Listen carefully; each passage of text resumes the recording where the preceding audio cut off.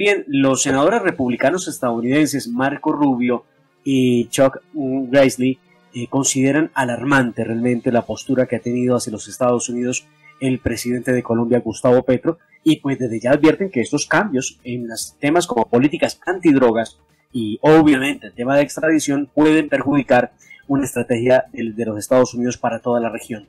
Una carta que se dio a conocer el viernes pasado, eh, Rubio, tanto Rubio como Gresby, eh, exponen a Raúl eh, Gupta, el director de la Oficina Política Nacional de Control de Drogas de la Casa Blanca, las inquietudes sobre lo que Petro y piden le proporcione mayor información sobre la reunión que mantuvieron con él en agosto pasado.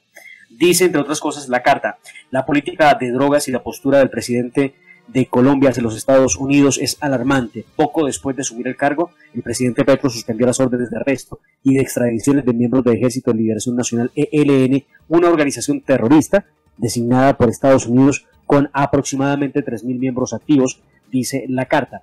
Los dos senadores mencionan las conversaciones de paz que Petro ha iniciado con el ELN y su petición de que se retire a Cuba de la lista de los patrocinadores del terrorismo que elabora Estados Unidos para sustentar esa preocupación que tienen.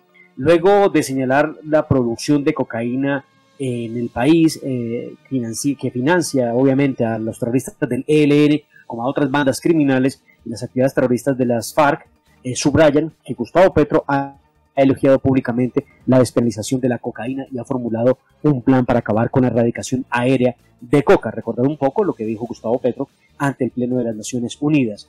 Subrayan que Petro restableció relaciones diplomáticas con el narcorégimen de Nicolás Maduro en Venezuela y su decisión de que sirva de garante de las conversaciones con el ELN. A propósito de ello, vimos como el fin de semana el, el señor eh, ministro de la Defensa, Velázquez, se reunía con Vladimir Padrino acusado de narcotráfico por los Estados Unidos.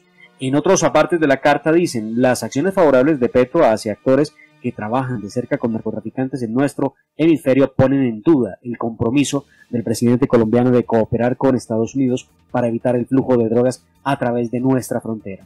En la carta hacen mención a que Gopta se reunió en agosto con el presidente Petro para discutir el tema de colaboración con los Estados Unidos y Colombia. El presidente Petro ahora busca renegociar una alianza de Colombia con Estados Unidos que tanto él como el presidente Biden eh, menos eh, propiciaron por carecer de equidad.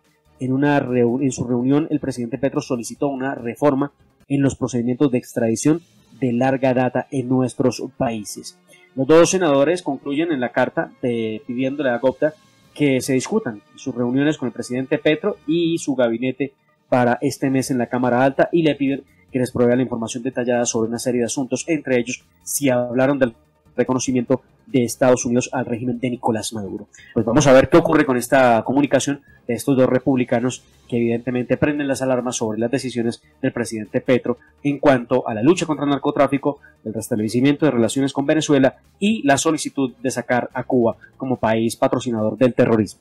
Bueno, dejaron de mencionar algunas cosas como esa de poner el ejército y la policía, sobre todo el ejército, bajo las órdenes de los alcaldes.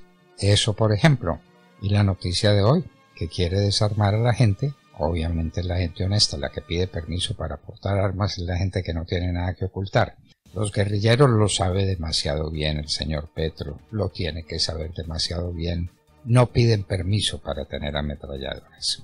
Entonces, Estas son la posición de algunos republicanos muy importantes, de algunos congresistas muy importantes ante la Casa Blanca.